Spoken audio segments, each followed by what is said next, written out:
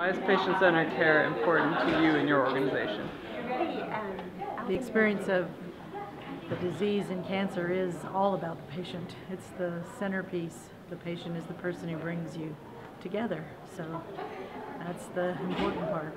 What would you say is um, one element of patient, patient-centered care that you see as imperative to have?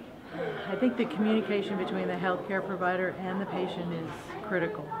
And the ability to translate the medical jargon to the patient's understanding and also having some skill about understanding the reality of the patient and having the attitude that the patient will tell you what's going on so that you can help bridge those gaps and not put them off because you're the medical person. But the way to pull them out, establish that trusting relationship, I think is critical. For now.